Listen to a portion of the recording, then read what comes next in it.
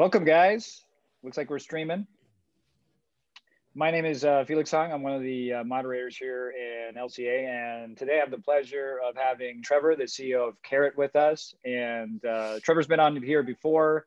He great some he gave some great content, and really excited about the topic here talking about today. So, so Trevor, what are we talking about today? Felix, dude, I appreciate you hop, uh, having me on here today. And man, we're talking about something that actually spurred out of the Lab Coat Agents Facebook group. So I was browsing around there as as we do, and there's lots of great combos. And I'll, I'll show the actual conversation in the slides here in a second. Uh, but Tristan had posted a, a comment that said, um, you know, why do a lot of real estate agents think online leads aren't good? And there was an amazing conversation after that. So uh, what we're going to be talking about today, man, is diving into data of over 480,000 leads, online leads uh, from 2020, uh, to show you guys and gals what actually does work the best with data, what converts the best, what doesn't, and then we'll show you guys how to make all of your online marketing work marketing work way, way, way better today. Wow, cool. So so proven strategies through data. Wow. Yep. Let's exactly. do it. cool. I'm going to share my screen. And uh, guys and gals, so what we're going to be doing today, let me kind of get this right sized here so you don't see the black boxes around the outside. Can you guys see my screen there? Yep. Perfecto. Uh, so what I'm going to be diving in today with y'all is a deep dive into conversion rates for house sellers, motivated house sellers, buyers, uh, through Facebook, Google Ads, SEO, a little bit on direct mail. And I'm going to walk you guys through a kind of a guide and some things that you guys and gals can do to shift the way that we think about marketing in 2021 and 2022. Now we all know that there's there's things adjusting, there's things moving. There's a lot of dynamics to the real estate market right now. Uh, COVID is part of that. We've got you know some sort of impending market adjustments should be coming sometime in the next year or two. But there's like certain things that are kind of holding some of that back. Uh, we've got the the tide that started years ago that we've been uh, at the forefront of here at Carrot of kind of the, the mashing together of the retail side and the wholesale side of real estate. Uh, so you see iBuyers kind of coming in in the middle, right? Your Offerpads, open doors, and Zillow. And so there's a lot of things happening in the real estate market right now and one of the most important things that we all need to do uh, as entrepreneurs in this real estate market is figure out, well, how do I stand out? Right? It's like, how do I stand out? How do I cut through the clutter? How do I make sure that the business I'm growing is one I actually enjoy to run? And it's not just me getting a bunch of leads. So we're going to dive into that data first. Uh, I'm totally game for any questions. And Felix, dude, if you have any questions, dude, interrupt me at all uh, uh anytime during it. Uh, I probably have too many slides for today's presentation, so I'll go through as many uh, cool things as I can, and then uh, we can always connect later and dive deeper on some of these topics. All right, guys. So this was the the the post that came up in the Lab Coat Agents uh, group a few weeks ago, or uh, not a few weeks ago, a couple months ago. Uh, Tristan had posted what do you think the main reason is that real estate agents continually say online leads suck? And if you guys and gals are watching this right now, if there's a chat box below it, pop it into the chat box on what your answer would be. You know, what do you think the main reason that real estate agents continually say online leads suck? And then here's uh, some of the comments. There was hundreds of comments in there you know, all the way from uh, Todd up here says agents have unreal, uh, unrealistic expectations. They need to get follow up systems in place. If any of these resonate with y'all, pop through the comments box. Oh my gosh, that's me. Okay. Uh, Yenny says, I'm one of those agents. I know I just, my follow up's bad. Uh, you can see follow up is a big, big theme here. Um, because most people suck at follow up because two thirds aren't ready to, to, do something. So Ron is saying they're not motivated, right? A lot of those leads aren't motivated. Uh, it just keeps going. Maria, because uh, it's not now business. She's saying those leads I'm getting are just people who aren't ready to act right now. Well, what if I was to show you guys where on the internet to get leads that are ready to act right now and which ones are not ready to act right now? We'll show you guys with data. Okay, Peter, uh, you know, nurture. Um, uh, down here, Trevor says you get leads from all online sources. You get overwhelmed and don't properly follow up. So I'm just going to blast through these, but follow up, uh, lack of negotiation skills, uh, leads not being ready to, to take action or big, big themes in these. Okay. You guys can keep on seeing some of these, but the themes keep on going on. Alberto, uh, many want to, but few qualify to buy. So a lot of leads, but low quality once again, right? Uh, Chris, uh, her expectations, but realistically, they're not all the same. The sources of the leads matter. And that's what we're going to be talking about today is the sources of your online marketing and what sources. So Facebook, Instagram, Google, you know, SEO, um, Zillow, what sources are going to give you the best quality, highest conversion so you can work less, right? Um, and I'm just going to bounce out to this next slide to kind of review what I had found in that thread as I was diving into it. It spurred this conversation today that we all get to dive into. And uh, these are the five re- the five most common reasons in that thread that uh, real estate agents had said online leads aren't good. Uh, the first one was is that people aren't good at following up or nurturing the leads, and that's 100% true. Uh, Lab Coat Agents puts out amazing trainings. I saw some this week that are on nurture and follow up. So tap into those trainings, though. Lab Coat Agents puts out amazing, amazing training on that. So dig into those. We're not going to touch on that today.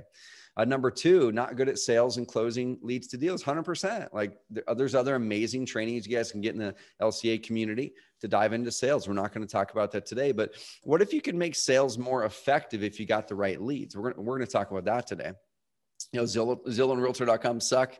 Uh, and there it says, and markets are too saturated, i.e., there's way too many people buying these leads and they're just not turning into deals for me. Guys and gals, pop in the comments box if you resonate with any of these reasons. Uh, online leads aren't motivated. And then number five, uh, hard to build trust from a distance. So these were the answers people gave. Now, they're all true in their minds. They're all true in their experience. What I wanted to show you guys is a different take on this. I want to show you guys and gals a different take from data that we see on how you can completely take these limiting beliefs and turn them upside, upside on, down on their heads. And how do you find the most motivated, highest converting, highest profit margin deals uh, through different sources based on our, our data? So you're at the right training, y'all. Uh, if you're a real estate agent, of course, or an investor, you know, wholesalers, flippers, uh, or both. Uh, we actually work with a ton of what we call hybrids. Uh, it's people who are both an agent and an investor, and I really feel that that's not the future. That's kind of like where we are right now. That sellers want to get an offer, uh, and they want to get the, the you know an offer for listing too. So we work with a lot of hybrids. Uh, you want to attract the most motivated and highest converting seller and buyer leads to you this year without getting burnt out in the process. Okay, that's that's my whole thing. Uh, our mission here at Carrot is to help uh, help entrepreneurs build businesses of freedom and impact. You know, it's not how do we get you guys more and more leads so you're drowning in leads and you hate your business. It's how do we help you guys build a business that you enjoy that gives you freedom so you can make that impact. So that's what we're going to be talking about today is the types of leads that give you more freedom, not take away more of your time. Wow, that, that sounds great, uh, Trevor. So if, yeah. if I can just ask a question about that. Yep. How quickly are you able to normalize someone's um, some someone's lead flow by by number two and number three? Dude, an amazing question. So we'll we'll go into this. I'll show you guys some charts, but the short of it is this: is depending on how competitive the market is, it's anywhere between three and twelve months to really stack on good what I call evergreen marketing. It takes work, dude. Like we'll we'll show the level of work it takes, but the the result on the other end is that commitment we've got to make. Is like, what kind of business do we want to have? And we'll talk about that here in a bit. And then what are the steps to get there? And so yeah, somewhere between three and twelve months is what we usually see mm. when people execute the plan. Yep. Uh, and then number three, you've realized the normal ways of marketing, cold calling, posting on social media 10 times a day. Uh, you know, they're keeping you in a continual marketing hamster wheel and you want to get off of it or at least start to get off of it. So, uh, what we're going to be talking about today, y'all, is not theory. It's a real peek behind the scenes from our data here at, at carrot.com uh, from over 480,000 leads. Now, that screenshot I took was from December uh, 15th. I re- retook one today. It's actually over 480,000 leads in the, in the year of 2021. So you guys might be asking, where the heck does data come from? Right? Did we scrape it? Did we collect it from other people? No, uh, it's from our own data source from over 8,000 real estate professionals that we work with right here at Carrot. Um, we house their websites or what we call authority hubs. Uh, we'll go into here in a bit. And it's mostly the US, a little bit of Canada. And surprisingly enough, there's a really good house flipping and real estate scene down in South Africa uh, that we've been helping people dig into quite a bit. Uh, this data is from Jan 1st through December 31st of 2020. Um, and we specialize in hybrid agent investors. So most of the leads that we're going to show you guys and gals are actually sellers. You know, most of the time you see you see data in the industry, it's usually buyers because buyers are just you can get them from everywhere. Uh, these leads are mostly sellers. Now there's a lot of buyers as well, um, but mostly sellers. All right, so uh, just to give you guys context, who the heck am I?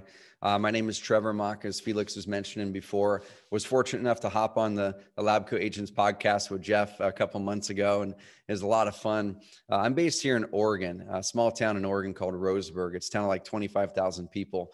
Uh, that's my family on the right at our vacation spot up in the mountains, and that's my work family on the left. That's my team at Carrot. Um, we've been fortunate enough to use exactly what I'm going to teach you guys today. Uh, like the same marketing methods. We use evergreen marketing to grow carrot and we amplify it with paid and social. Evergreen marketing at the core, amplify with paid and social. It gets us off the hamster wheel, adds consistency. Uh, but we've been fortunate enough to grow this business. It's been in the Inc. 505,000 list three years in a row. We'll make four years this next year. Uh, we're up up uh, north of 40 full time employees, and we serve um, a lot of real estate investors and agents around the country. So what we focus on is this. You know, when someone does a Google search and they have high intent, um, like sell my house fast Nashville, those first three results when I did a Google search were all carrot sites. Okay. So that's what we focus on is building a platform that gives you an edge in that for both investors looking to buy houses and a lot of hybrids who are an investor and then can list it and agents as well, like Krista May Shore, who's a part of the LCA community, an amazing uh, agent down in Brentwood. And where, where we kind of sit, and this is what we're going to be talking about, this is where the data comes from, is we kind of sit right there in the middle. You know, we're not going to drive your traffic for you. We don't have follow up systems built in place. What we talk about is how do, how do you make all of your marketing work better? Because all offline marketing drives online demand, right? If you do direct mail, if you do cold calling, if you're doing networking, open houses, anything at all, all of that is going to end up driving online demand because people are going to Google search your company name or your phone number or whatever it is. And you've got to make sure that the online part of it, which is the part most agents are missing, they have the online part, but it's not performing the way that it should. Um, need to make sure the online part of it is performing for you. And we'll talk about how you can do that and we'll look at the data. So we're going to be diving into the data first, and we're going to dive into making that shift from evergreen marketing to, I'm sorry, make, make the shift to evergreen marketing uh, uh, versus hamster wheel. And then uh, why social media shouldn't be your content hub. If we can get this far in, in the hour that we've got here, uh, in my belief, why social media should not be your content hub and why turning your website into an authority hub will help you actually win more deals. Uh, that's how you get evergreen and get off the, the hamster wheel. So before we dive into the data, I want to kind of cast a vision. Just let's sit back, let's sit back, put the lead conversation over here, put all the data behind us, and let's picture like where we want to go. Like where, where do we want to go in our business? And this is just for myself, but let me know, guys and gals, in the comments box if you guys can relate to this. That uh, for me, I became an entrepreneur, you know, not so I could work more. Uh, it, it, it, wasn't so I could work, you know, six, seven days a week. It wasn't so I could work 60 hours a week. Um, it was so I could get freedom and so I could get flexibility. So I could like find a way to have a, a, a vehicle that I was passionate about working, but also I could help make an impact. And I wanted I wanted something that helped me get momentum more and more every year. Because when we're when we're in momentum as entrepreneurs, we're happy. Like we're in when we're in positive momentum, then we feel good. When we're stagnant and we're in negative momentum, we're not happy no matter how much money we have in the bank. Like I, I know people who, you know, make a ton of ton of money, but they're not happy because they're not in momentum moving forward on something that they believe in. And so on the left side is wherever you are in that picture versus where you want to go. On the right side is that visual of, of where you want to go and what your business uh, want you want that to look like and how your business needs to look in order to serve you to get you that freedom and flexibility. In the middle of that is a gap. And what I found, Felix, through my previous experiences running uh, several companies before Carrot, I've been a real estate investor since 2004 myself um, buying and holding properties, investing, worked with a ton of investors and agents. And the one thing that I had this epiphany on, man, in 2012, as I was making a uh, looking to make a shift in my previous company, uh, was man, like what type of marketing was the marketing that actually gave me the most freedom in my business? And I started to write down all the marketing. We did cold calling. We sent out a lot of direct mail in my previous company. We did joint ventures. They all work. Like that's the thing. They all work. They all turn into money but every single one of them required me to keep doing that thing over and over again in order to mm-hmm. get the result again. And it kept me on this hamster when i'm looking back and going man i don't have freedom. I don't have freedom in my darn business. And that was my vision. And this business is trapping me. And i started to realize you know it's not really the business that's trapping me. It's the way that i was marketing. Uh, all the marketing works. There, all the marketing you guys learn it all works. Like it all works but the mm-hmm. question is, what do you want your business to look like? And what marketing will actually help you have the lifestyle that you want to live in your business? And you have to make that decision. It's a trade off, right? And here's the reality uh, for most real estate agents and investors. I got this data from, uh, I think it was Placester actually. Uh, over half, 53% say they work the same hours or longer uh, today than they did their first year in business as an agent. Um, uh, of all activities and practices that real estate agents spend time on, marketing and advertising take the cake. 62% of agents said that they devote at least an hour a day to marketing themselves and their listings. Okay. That's awesome. Okay. Uh, next came prospecting lead generation. 60% of agents said they prospect on a daily basis, with more than a quarter, 26% devoting several hours a day to finding new leads. Guys and gals, this is great. It all works. But once again, I want you to picture yourself in five or 10 years, 20 years or, is what you're doing today all that prospecting is it building momentum or is it keeping you on the hamster wheel to, to where you've got to do that forever uh, to keep the income coming in? Only 31% of agents spend more than $1000 a year on marketing. Like that that amazes me because we're, we're you, know, you get the leverage with with the with the spend. You don't get leverage with your time. And so i want to show you guys where you can kind of spend a little bit more where you start when you start to get that that budget there uh, and leverage your time better. Because um, barely any agents are, are, spending any marketing money on marketing, according to the study. And 33% uh, were able to support themselves and their families within the first year. First year, 25% of agents took two years or more. And so, when we're looking at all these stats, we're looking at real estate agents spending a lot of time on marketing, which we have to in order to grow. Uh, we're looking at people spending several hours a day on marketing because it's usually hamster wheel, not all the time, but usually. Um, and we we find that a lot of agents aren't able to get true freedom, especially in that first one to three years. And so, how can we do that? And I want to ask you guys this question, and we'll dive into the data. You know, do you ever feel like this hamster on the on the wheel, where you yeah. get on the hamster wheel, right, and you start walking? It gives you immediate feedback, and this could be social media posting. It could be you know going out there and doing an open house. It could be whatever it is, cold calling. It all works. Like you hopped on that hamster wheel you made the call, you did the social post, you got the result, you got the feedback. Amazing. But then what happens to keep that flywheel going? You've got to keep calling, you got to keep posting, you got to keep calling, you got to keep posting. And then you end up finding you end up finding yourself on a vacation in Disneyland uh, with your computer out or your phone, watching your kids go on a roller coaster while you're cranking away in your social posts because you gotta got to keep it up. And that's not why most of us got into business. So that was a little bit of my journey in a hyper, hyper condensed uh, fashion and I want to walk you through kind of what my findings have been over the years and how you guys and gals can shift that marketing and use the data I'm going to show you here in a bit to make your business not just grow. If growing, if growth is what you want, like we don't have to grow our businesses.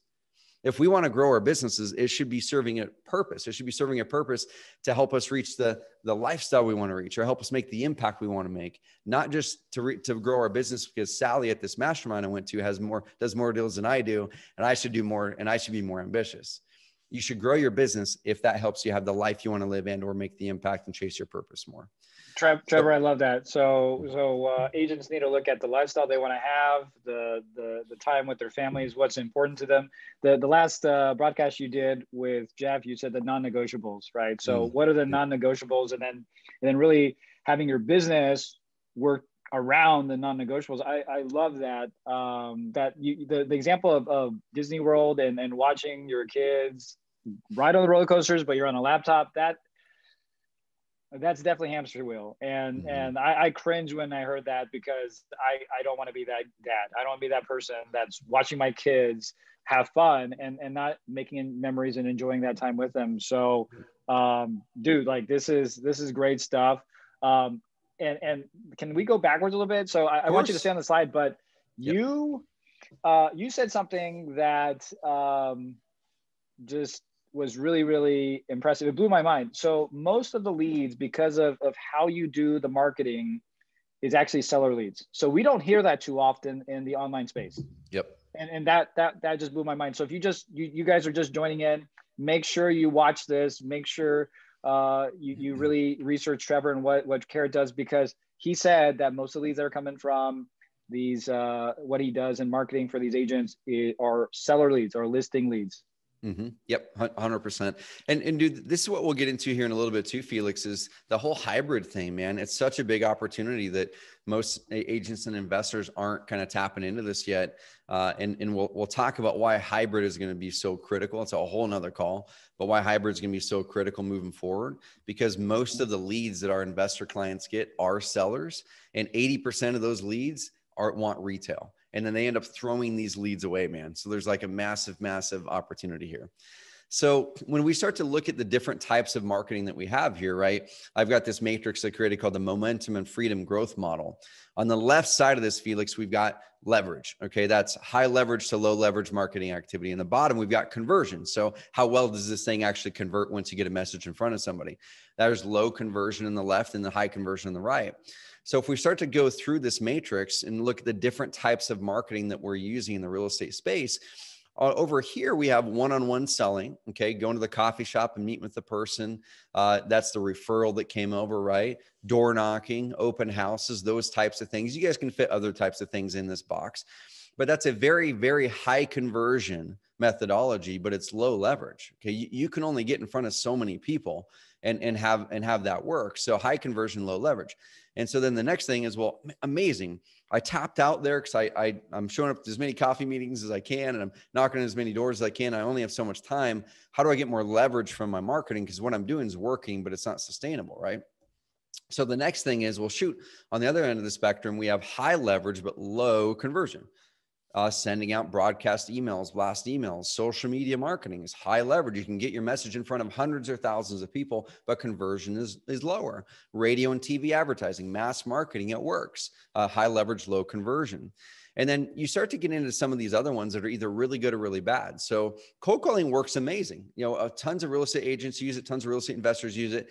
Guys, if it's working, keep doing it, especially if you found an amazing way to create a process out of it to where you don't have to pick up the phones all the time and do that but it is a low leverage, low conversion activity. We have to make a lot of phone calls, uh, and it's not very high leverage because someone physically has to sit there to make those phone calls, whether it's you or somebody else. Uh, so with this one, you have to get someone to get on the hamster wheel for you to make those calls, or you have to be on the hamster wheel every day making those calls. Low leverage, low conversion, but it works really, really good. Um, then over here in the upper right is high leverage, high conversion, which is organic. That's people coming to you. It's online evergreen marketing that we'll walk about here in uh, talk about here in a second. That's where you you put up content, you put up the right content on the internet. It's available uh, 24 hours a day. It doesn't work just for just for a few hours or a few weeks like a direct mail piece does or a cold calling campaign does. It works for years uh, and it builds up momentum and it has high leverage, man, because you do the activity once and it brings in customers and leads forever or for years at least. And then it has a really high conversion because it enables you to build relationship with people really well. And COVID actually only accelerated this trend uh, with people searching online. And we'll show you guys the exact data on how COVID impacted our customers' leads and traffic here in a second. So let's go into the data. Uh, data on over 450, it's actually 480,000 as you'll see in the screenshot. Up to that here in a second. But we're going to talk about two parts of conversion. We're going to buzz through the data section, y'all, because I want to I want to get to the meat uh, after the data, which is walking through evergreen marketing examples and showing you guys where do you put that content, where do you put that evergreen marketing uh, on what we call an authority hub, not just a website. So the two parts of conversion are this you have the traffic becomes a lead and then you have lead becomes a customer and those are two parts of the conversion part of it hey how effective is my is my tool for converting a visitor into a, a lead? And then how how effective is my follow-up process of negotiation uh, changing a lead from a customer? And so we're going to look at traffic to lead data first felix and then we'll dive into lead to customer data. And these are two sides. If you're an agent you need to look at both. Because if we go back to that lab coat agents um, thread that we were talking about, a lot of people are talking about, man, they're really low quality. What they're picturing in their mind is they're low quality because it's the lead to customer close ratio is low for them. But if we attract the right customer, if we attract the right prospect through the right type of marketing, both your your traffic to lead conversion and your lead to close conversion uh, ratio can eh, dramatically increase and you can actually uh, you can actually get fewer leads and close the same amount of deals or more with less work if you adjust the way that we do our marketing okay? So here's an overall look and if you guys want to know where we grab this data we hook up google analytics to every single one of our clients websites and we have a portal where all the data comes in one spot. And we can track literally everything you can ever picture or ever imagine what happened on a website at the granular data a granular level.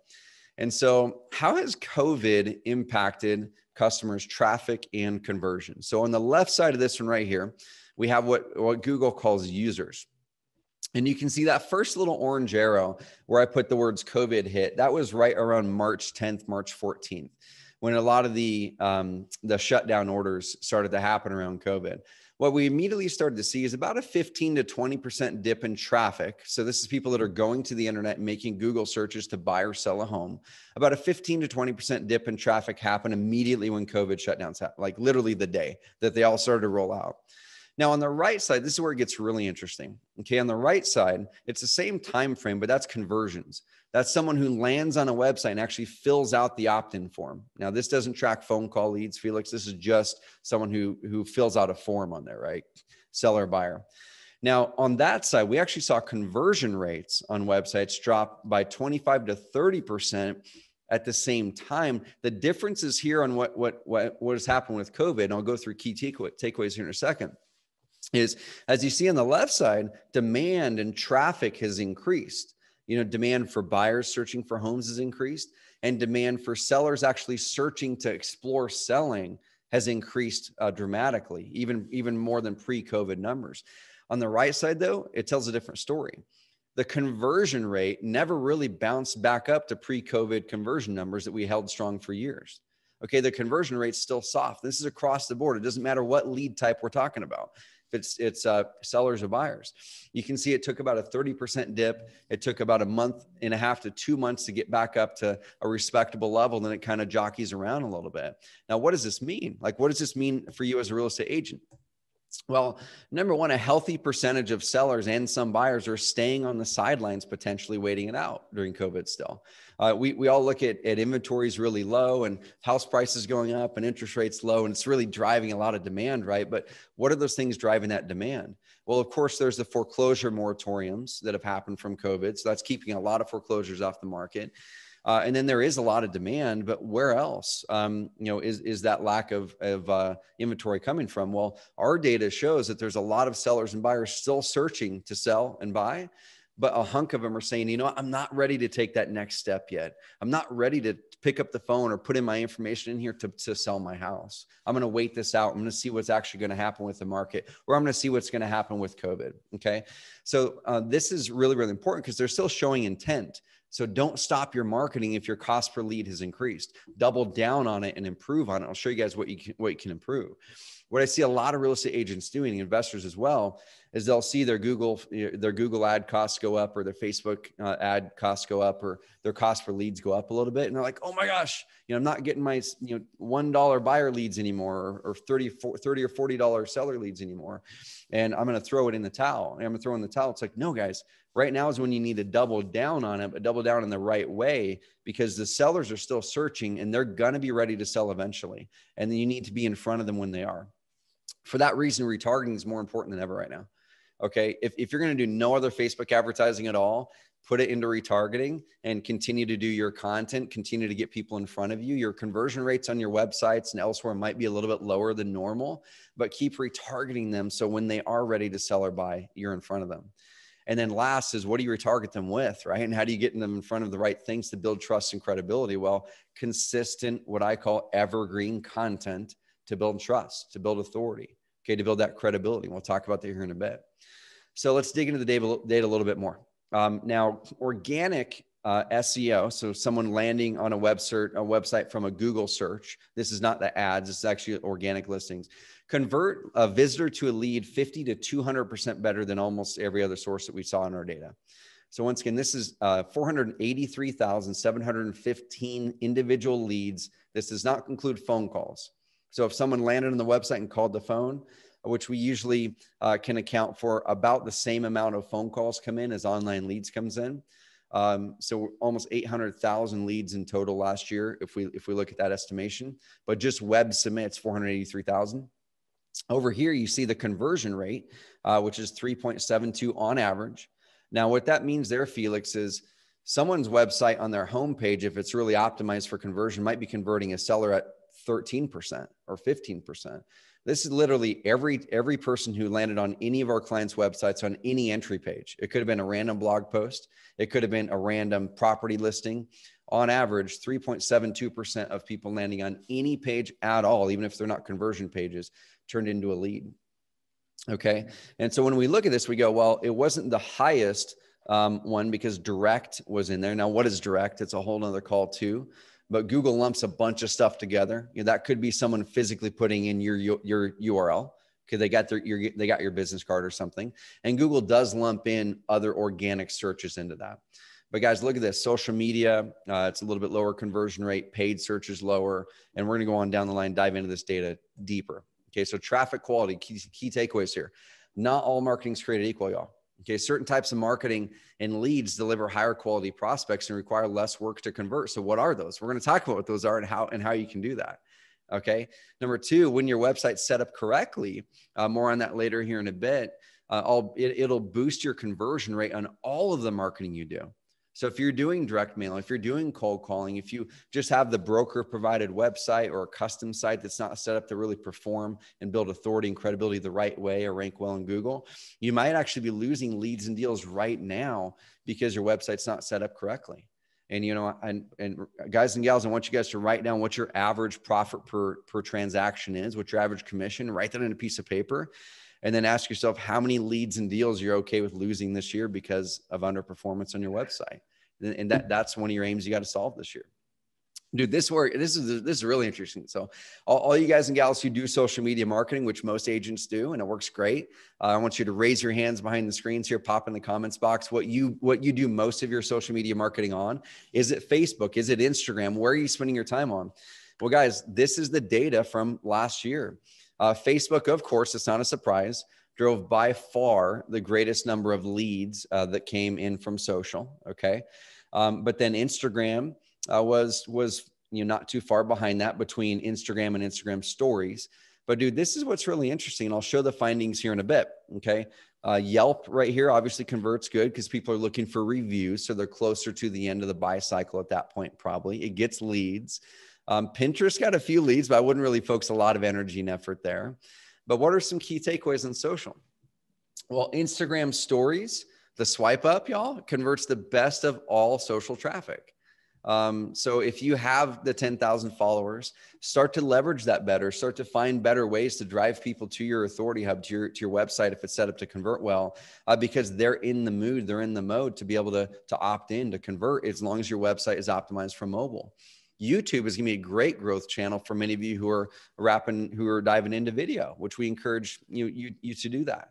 Um, make sure though you're including your URL of your website at the top of that description because you guys saw a lot of leads that came in from YouTube just from the description thing in our data. Guys, put your darn URL up there and make sure you put calls to action uh, that YouTube lets you do. You can get hundreds of leads through that if you do it right.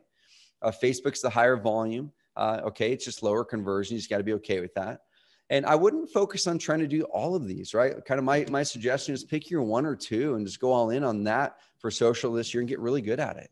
You know, don't don't try to spread yourself too thin on it. Get get really good at one or two. I'm not going to spend a lot of time on this one. It's more of an obvious, hey, check the box. We talked about it kind of thing. But mobile is obviously increasing every year. Uh, mobile is the majority of traffic on real estate agent and investor websites, and it actually converts better uh, uh, from visitor to lead when you have your website set up correctly. So, on average, you can see uh, our clients' websites converted better on mobile than desktop because they're set up that way to do that. And here's a couple things you guys can do to make your websites perform better on mobile and attract more of those evergreen leads. Uh, number one, pull up your darn website on your cell phone, guys and gals, right now. Like pull it up and start to flip through it and ask yourself, it's like, uh, if my average client, knowing who your average client is, saw this website, would it be easy for them to navigate? Would it be easy for them to find what they're looking for? Are the forms and form fields big enough for a thumb and a finger to get into and type? And is it easy? And you know all that kind of stuff. Try it out, test it out, send it to your family member. Hey, what was easy? What was hard? Uh, but you need to make sure you're always looking at your website, not from how pretty is it on a desktop computer, but how functional is it on your cell phone first. And then second, look at your desktop and say, okay, now let's make it pretty over there.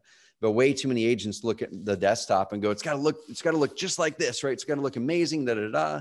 Most of your visitors aren't aren't looking at it on desktop, but many are. That's a great point. That's a great point. Yeah, yeah, and and that also helps your your SEO ranking on Google if, if it's uh if it's optimized for for mobile.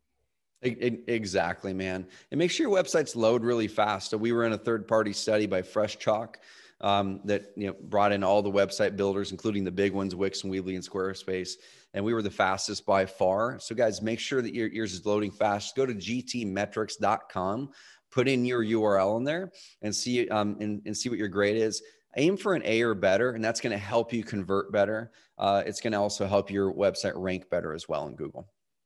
Okay, uh, so the same thing. I'm going to buzz through these, uh, Felix, so we have time to dive into the Authority Hub and Evergreen marketing parts a little bit more. Mm. Um, seller conversion rates, same thing, same patterns um, um, are here, guys. Organic and then paid search and then social by conversion rate. So you're gonna have to get fewer eyeballs on your websites if they come from organic. You're gonna have to work uh, less over the long period of time versus social or paid. But social and paid work amazing, especially as you're building up that organic um, SEO. Uh, same thing with rent to own leads. So if you're in the rent to own business, uh, you know, rental tenants, and same thing with buyers. But you can see buyers actually was even bigger.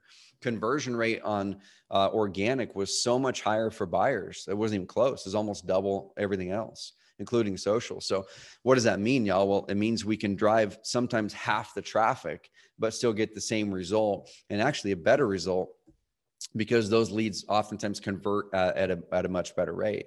So evergreen or organic marketing does outperform all the other traffic sources as far as conversion rate goes. So people are more ready, they're more ready to act. And so when we saw the all the comments before in that thread where people said they're not ready to go, it's because we're tapping into places where people are not in, in the mood to, to find a solution. You know, we're, we're, we're posting into Facebook or Instagram, which is amazing, but people are not in a solution finding mode. They're in a look at Aunt Betty's, you know, cake she made mode. They're in a let's waste some time mode and they are going to fill out the form, but they might not be in a, in a mode to, to make a decision now, which is why organic uh, tends to get those higher quality leads. Um, social and direct is close behind. So now let's look at the, the lead to cl- customer close side of it, the equation. Uh, in this study from HubSpot, the lead to customer close. So once you actually get the lead, okay, now what types of sort of marketing sources are actually going to convert into a, a, customer at a higher rate? So, i.e., I can get fewer leads to get the same amount of business or even more business. Well, over on the left side was SEO. So that's people going to Google. Uh, over on the right side is outbound marketing. And then right there in the middle is paid and social media. So somewhere between two and three times higher conversion rate once you get a lead through organic SEO versus social or outbound. Now, once again, we're not saying to not do those things. Okay. That's where you're going to get your volume. All we're saying is understand and recognize the S SEO and, and, inbound actually is evergreen marketing. It's going to be around for months and years, while the other ones, social media and outbound, they convert lower and they're going to keep you on the hamster wheel because you have to continually post and have to have to continually send. Here's some other kind of cool data sets. You guys can take a screenshot of this, and we'll dive into evergreen marketing in more detail in the next uh, next 10 minutes and wrap up, kind of showing you guys some quick ways and how to how to make your website into an authority hub. And I don't have all I don't have enough time to go through all the slides. So if there are questions at the end, we can answer questions, and um, we have free training you guys can dive into to, to hit this at a deeper level. Okay. So average lead to close ratio. So radio and TV advertising, it's going to take you one, uh, it's going to take you 50 to 60 leads to get a deal there usually. And I'm talking sellers here. Okay. We're, we're talking sellers here. Okay. Um, cold calling uh, between one and 50, uh, between, between 40 and 50 leads turn into a deal uh, there. Uh, direct mail, uh, around, around 40 leads to a deal with direct mail uh, Facebook ads, somewhere between 20 and 30 leads to a deal for sellers uh, done the right way. Google ads, between 10 and 20 leads into a deal, uh, according to our data.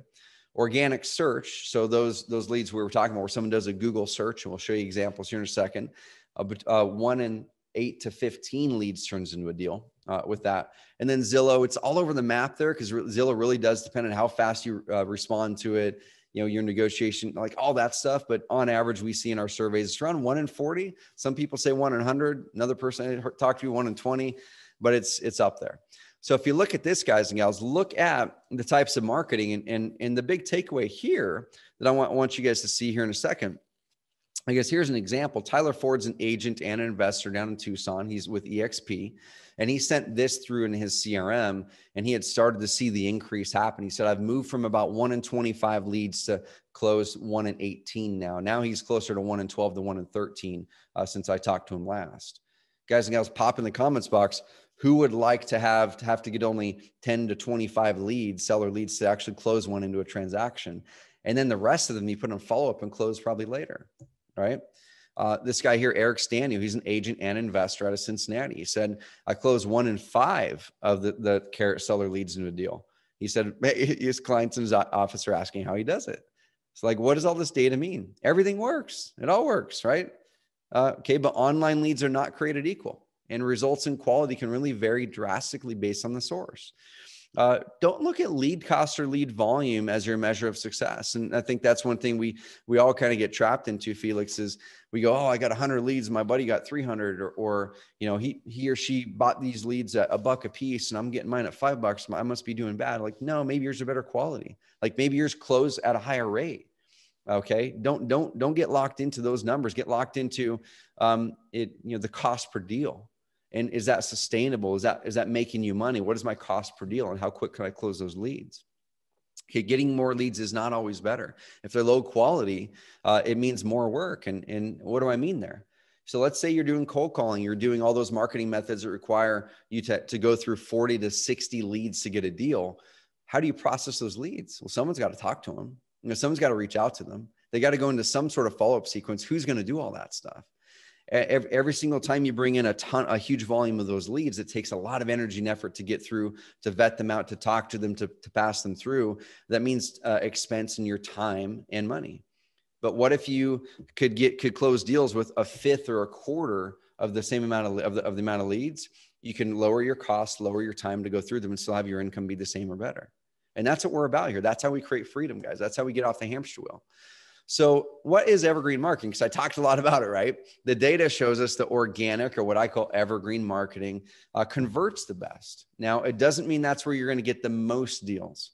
Your volume, okay, your volume is going to come from outbound marketing, your cold calling, uh, direct mail, wh- whatever it is. That's where your volume is going to come from because you're going to activate demand. You're going to activate demand where someone maybe isn't searching yet. And they're going to go, you know what? Yeah, I got the postcard. I think I might want to look into selling. Or, you know what? I got the call. I wasn't really looking into selling or buying, but you know what? Yeah, let me talk to you. So you're going to activate demand that's not actively going out there trying to find a solution yet. But where, where the evergreen marketing comes in is you're actually capturing demand that's already there. Like you're stepping in front of that flow that's already there with content that builds trust and credibility. And then you stack and build momentum over the long term. And I drew, I drew, this graphic that kind of walks through this is my journey in my previous company and now with Carrot. And we've done the same thing with tons of investors and agents as well. But the, the yellow one is hamster wheel marketing. It's your outbound. It works great. And if you build a team and great systems, you can level that out a lot. But most agents are kind of in that boom and bust where you're crushing it, doing all the calls, and you're crushing it doing here. Then you take a vacation, right? And you're not making all those calls. You don't have someone doing it for you. So then your leads go like this, and you're like, okay, it's fine. I'll, I'll get back after vacation, pick it back up. Your income takes a dip three to six months later as a result because you know your, your lead flow uh, went down. And then it goes back up because you work your butt off like i'm calling again i'm calling again i'm doing this and again. Okay money's back up. And then you kind of got tired and burnt out of cold calling or you got tired and burnt out of posting on facebook and instagram all day. So then you stop that for a little while then your leads went down like this again and the cycle goes on forever until i've seen so many people get burnt out on the process they just either switch careers or um, pull back and just sit at a, a very small level. On the flip side is evergreen marketing where it's going to take time. Like it's going to take time to build it up. You've got to get content consistently online. I'll show you guys a couple examples in the time that we've got here. And then you kind of stack it on top of each other and it starts to build. So, what is evergreen marketing? Well, Google's definition is retaining freshness or interest. It's perennial universally and continually relevant, not limited uh, in applicability to a particular event or date, i.e., you can put stuff up online. And if you do it the right way, people will see it for a long time, not just for 72 hours on Instagram. Okay. Marketing, uh, you do once, um, you know, is, is you do it once and it works for years, not hours or days. Okay. That's how you really get momentum. Uh, it's like kind of like stacking bricks is, is the way that I look at it, Felix. We'll talk about that here in a bit. And then going back to this little hamster that got tossed off the wheel, what's hamster marketing? Well, a hamster is any situation that, that seems to be endlessly without goal or achievement. Like that's literally the definition from Google. Any situation that seems to be endlessly without goal or achievement, you're getting on this hamster wheel over and over again. And You can't find yourself getting a lot closer to your end goal. You're doing the activities that might be working to do something, but you're not getting a lot closer in marketing terms, this is any marketing that works for a short time after you do it, has a limited lifespan, and you got to do it all over again to get result, results coming in. That's your cold calling, direct mail, posting on social, open houses. It all works, y'all. I'm not saying not to do it. I'm just saying recognize if your whole business is built off of this, then you are likely going to look like the hamster at some point. Now we say build your business off of evergreen and amplify it with hamster wheel as you want to and as you need to. Okay. Uh, what what most people teach, and once again, because it works and because it's the standard, is post on social a bunch. Um, you know, 100 dials a day, it all works, guys. Like keep doing it if it's working for you, and ideally find someone else to do it for you. Like that's how you get off the hamster wheel. You put someone else on it for you. Okay, so then you you got off of it. Uh, but if our dream as entrepreneurs is freedom and impact, you know, how will that type of marketing ever get us there? It's like we we got to be great at building a team, or we've got to find a new way to market. And uh, Tyler Ford, going back to his example, uh, he switched over to Evergreen. This is about three to four years ago now. We've got a couple case studies up with him. And he had adjusted his goals and he blew by those goals that first six months. And this is kind of what, what it looks like now. He's got his investor site with Carrot to get motivated house seller leads. He takes a lot of those seller leads and moves them over to retail. Okay. He's like, awesome you Google sell my house fast Tucson or you know any phrase around uh, selling your house in Tucson, he's ranking really well. He gets these really consistent leads. You can see right there in the carrot system, the arrows that says Google search, Google search, Google search, Google search, Google search, Google search. Those are all evergreen organic Google search leads that he's getting coming in. And it really helped him scale the business. And so when we start to look at this, it does take a big mental shift, y'all, because once again, this is not immediate. Okay. It's not something where you're going to be able to like put one piece of content up and then tomorrow you're just raining in leads and raining in deals. Okay. The results come over time as you consistently commit to putting out good content. And well, like, so I'll show you guys an example, but running out of time here. Uh, but your work actually reduces over time. Okay. Your work reduces over time because you're building momentum. Uh, on the inverse, if you're if you're doing hamster wheel marketing, your work pretty much stays the same all the time. It's never going to go down unless you pile a team into it to do the work for you, right? Um, and many people will be tempted to go back to hamster wheel marketing because it does take patience to create content that ranks in Google.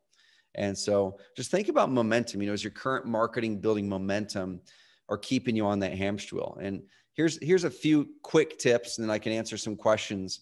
Um, and then we can show. I'm just going to show one slide, Felix, from the uh, section where it talks about a, an authority hub. I'd be happy to come back and literally just teach how to build an authority hub. But like, how do you make your website into an authority hub and do a whole 30 minute to 60 minute workshop on that? But I'll, I'll give people a glimpse with one slide of it. We also but have a great question that came in. And uh, Greg asks uh, Do Carrot clients still need uh, and use external CRMs like Follow Up Boss and CallAction? Yeah, that's, that's a great question, man. So what we've hyper focused in on is is the middle part, which is the website part, or what we call the authority hub. Um, we have a really simple lead manager and we're building text and email follow up this year. But yeah, you can integrate it with Follow Up Boss or anything that integrates with Zapier. And that's what a lot of clients do. It's like the leads come in and shoot, shoots them off to something else. Really good question.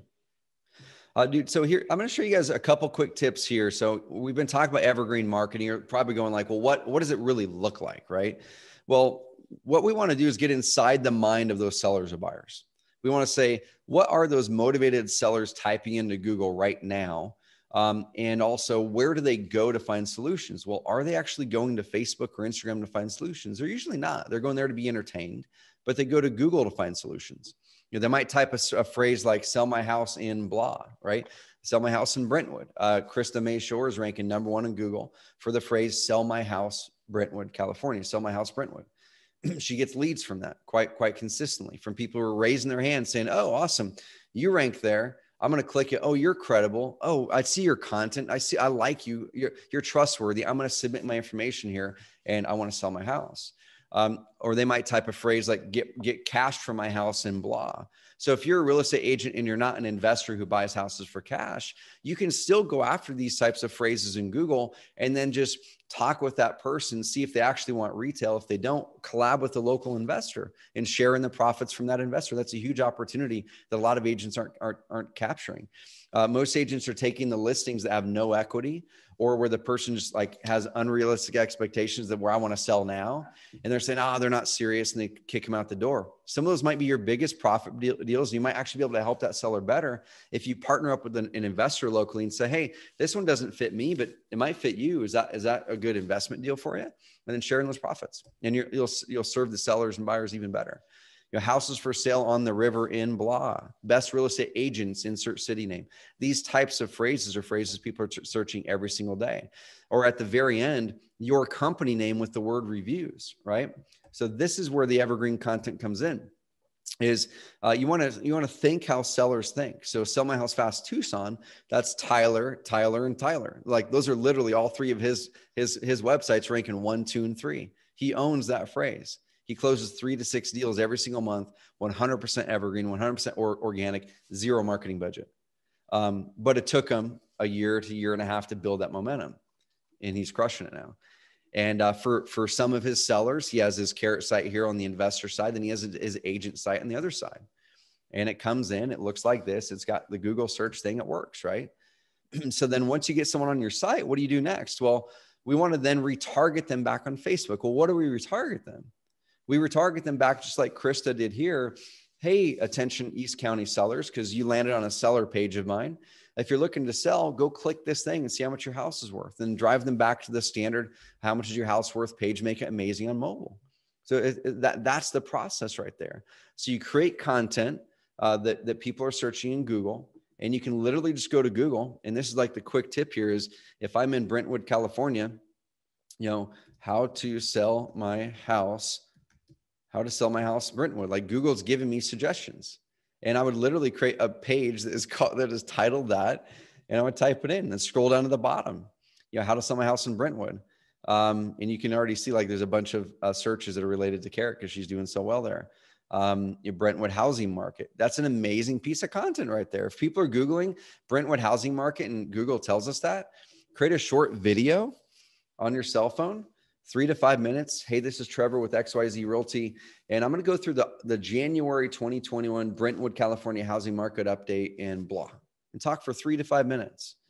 Put that up into YouTube and then put that onto a website. And this is where most agents are missing it here, Felix, is most people will take that content and they'll email it out and they'll put it up on social and they'll, if we're lucky, they'll put it up on, on YouTube but almost nobody's then taking that video, that three to five minute market update video, or that video that they uploaded to, to, to, to Facebook, and then transcribing it and putting it on their website. And for a phrase like this, sell my land, uh, you know, uh, just sell my land, or I'll, I'll type another, another phrase here. It's like Roseburg, Roseburg farmland as an example. I live in Roseburg, and a lot of people look for farmland around here. What if you were ranking above LoopNet, above LandWatch, above Land and Farm, above Zillow, even. Guys, you can't outrank Zillow when you niche. And it lands on a site like this, and it's literally a three minute and 26 second video of Denny, Mr. Real Estate Agent, who never wanted to sit down and write content.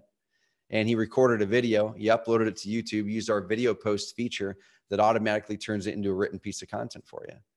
It's like, guys, that's all you got to do. One or two of those things a week when you're out there on the job, when you're out there doing a market update, when you're doing that, record it. And you can completely do without carrot. Just record the three to five minute video, put it on YouTube, go to rev.com, get the transcription, come over here to your site, put the video there from YouTube, put the transcription there, doctor it up a bit, and hit publish with a good title. I know I'm kind of oversimplifying it there, but that's the high level of it, right? So I'm going to bounce out of the slides here because I, I went over that at a really high level. There's more content there. If anyone is looking for video marketing ideas, because uh, that's the biggest block that we get is like, I don't know what to do videos on. Uh, guys, go to carrot.com. It's a terrible URL, URL we put together here. Uh, carrot.com forward slash video dash marketing dash playbook. Um, and we're going to give you guys 52 video ideas. So one video idea every single week for 52 weeks uh, for real estate agents. And it's going to walk you through exactly what to do your video content on. Three to five minute video every week. Upload it to YouTube. Upload it to Facebook nat- natively. Get over to IG if you use IG. But then don't forget, if you're a Carrot member, take it and put it in a video post where we'll rank, we'll, we'll yank all the words out of it and make a written blog post for you. Or if you're not a Carrot member, go do it the manual way. But that's how you get your evergreen, y'all. Okay. So many people are, are taking that content and putting it on hamster wheel uh, platforms which is your social. But that's going to be there for 72 hours max where people are going to see it. Then you got to keep posting. How do we make that content you're already creating evergreen that's three to five minute videos or longer? You put it on your website and you make sure that it's it's got robust content. Um, last thing I'll show here, Felix, and I'll toss it over to you, man, is uh, I get a little bit too ambitious with my content, dude. Like I created way too much. but uh, I'm going to show this because people might be asking now. Well, cool. So you briefly walk through evergreen marketing. I do whole workshops on that topic, guys and gals. So I didn't have a lot of time on it. But now they might be saying, well, what is this authority hub thing? Like, how is it different than my normal site? Well, most websites, you know, if it's a broker provided website, it might be like literally a page that has your face, name, reviews, and if we're lucky, some property listings, right? and then uh, a lot of people have custom sites, and a lot of their custom sites are pretty much, you know, hey, I'm Sally the agent. Here's some IDX listings. Here's some cool reviews, uh, some things like that. Yeah, and most sites have that. They have the core pages, right? They've got your hey, if you're looking to sell, click this link. Here's reviews. Here's an about page. Here's my listings. That, that's what most agent sites look like. But in this in this in this next stage of real estate, and where we are right now, to really attract that evergreen market, we need to put content on our websites, not just on social. And so what we suggest you do is create what we call niche or location pages. You know, same thing, those aren't new, but the way that we do them to outrank Zillow uh, is new. Uh, most people create niche or location pages that are really hard to rank in, in Google. But you create a niche or location page for every single market, city, subniche you do business in in that area. And we could show examples now or later uh, if we had time. And then after you do that, I would do that quarterly. So every single quarter, when you're looking at your marketing plan, you go, cool. Like, are there any other niches or any other other locations we want to build pages on this quarter? Yeah, you know what? This neighborhood over here, we're wanting to really get into that. Let's build the page. Let's get the video. Let's you know get the IDX, get the opt-in form on it. You know what? Uh, we're going to go into new construction now in Biloxi, and I know we already have a Biloxi page, but let's make a new construction homes for sale in Biloxi page. And so, you know, I, I would suggest doing three to ten of those a quarter and that's how you're stacking those evergreen bricks. You're going to start to get that traffic. And then on the weekly basis is the authority content. So this here is your conversion. That's your core website. This here is, is branching out and capturing people that are searching the niches you want to do business in. And this here is building your authority. And that's that three to five minute short video from Denny on a cell phone, you know, put through mm. video post and post that really quick little, a little piece of content on your blog every single week. And uh, that can take you less than 10 minutes a week if you do it the right way. So I'm going to bounce out of these. I'll toss over to you, man. I know I buzzed through these really fast, dude. Um, and like I said, it's probably a whole nother workshop, but I want to respect your guys' time. Uh, if there's any questions, I'd be happy to answer, answer any. And if, if anyone wanted me to dive into a couple more concepts uh, deeper, I can for sure. Awesome, brother. Great training, great content. And I was going to ask these questions. So, uh, free on-demand training at carrot.com backslash evergreen and, and content at carrot.com backslash blog. So, so much value from Trevor here today. Uh, Trevor, so if someone wanted to get started at uh, taking back control of their life and, and having more time freedom and and uh, and focusing on the, those non-negotiables, um, how do they get started with you? Yeah, dude. The the, the biggest thing I, I know this isn't like the answer that most people want to hear, but making the shift is like a full fundamental shift in the way that we think about marketing. It's it's not a it's not a strategy or tactic where you're going to sign up and continue to do everything you're already doing and then hope that you push some buttons with carrot and it's going to like magically spit out this evergreen you know dream for you um, and so that's the first thing y'all is really pull back and I would, I would challenge you guys and gals to write down why you got into business like write it down. What are those reasons? You know minor freedom flexibility impact right? That, that's why i got into business. And write those down and then ask yourself what parts of your current business are not allowing you to get that and get real with mm-hmm. it like these things are stopping me from doing that. If your marketing if your marketing is one of those things that you're having to be on that hamster wheel then i would then i would go cool. Ask yourself am i fully committed uh, to invest this next year uh, to sh- switching my marketing to hamster or to, to evergreen. If you're fully committed, then go to carrot.com, check us out. There's a demo for the agent side. That webinar is probably the best spot because I go into those concepts I talked about now at like deep, deep, deep level. It's a it's a two hour workshop just on those topics. And by the end of it, whether you whether you want to join Carrot or not, um, you're going to have a map, you're going to have a plan, and you're going to see exact specific examples of these content pieces how they got ranking and how you can do the same thing.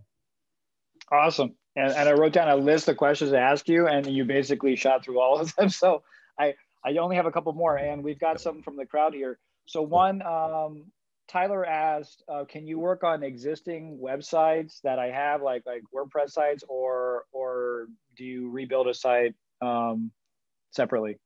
Yeah, awesome question. So with our with our software, our technology, it's all built on our system, and so the websites, the tools, all the tools built into those websites, video posts, which is that feature that automatically turns your short YouTube videos into written content.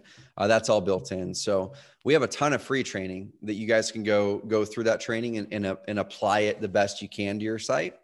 Um, and then there are some advantages too that if like sometimes Felix, when we when we did in the past go try to optimize someone else's site, we would end up adjusting it so much it's like well we would just be doing what we've already built over here. So it's like just mm. go use that. But i understand that that people are baked into some investments that they've got and they love their sites. Amazing. Take these concepts and go uh, go apply them because you don't have to have carrot to make it work.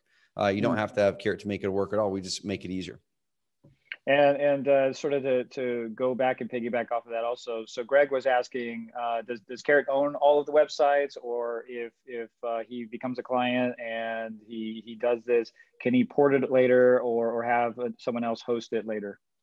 awesome question. So we don't own the the websites themselves. So after you launch, just kind of like Wix, right? If you were to launch a website on Wix they own the technology and the platform. Uh, all of the content that you put on there, you own. Like that's that's your IP. And if you were to move off of Wix or any other website platform out there, you would just have to take your content and move it over. And so Carrot's similar. Um, uh, you can't take like the stuff that's unique to us, the stuff that we had created. Uh, one of our features is our automated our automated blog system. And so all the ones that we create that are automated through the system, that's IP of Carrot, but you can use it on your system as long as you're a member. But everything you create's your IP. Yeah, but you can totally move it move it away from Carrot later if you wanted. Awesome, awesome, brother. I, I appreciate your time today. So so much information and, and so many nuggets there that that people could take away from and just apply to to their business, which which I love. Um, so thank you so much with leading with value. Uh, thank you so much for, for your time and, and just, just sharing so much knowledge and, and sharing your company with us today.